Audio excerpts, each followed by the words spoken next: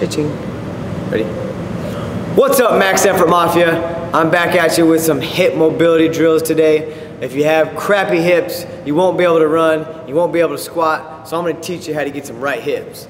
So if you have some hurdles, accessibility, what I like to do is get a pole so you're tall as an arrow. You're gonna go with your right leg first every time. Lift it straight up, snap the other leg. What I don't want is you to wind up. So you gotta do your best. Drive straight up, come across.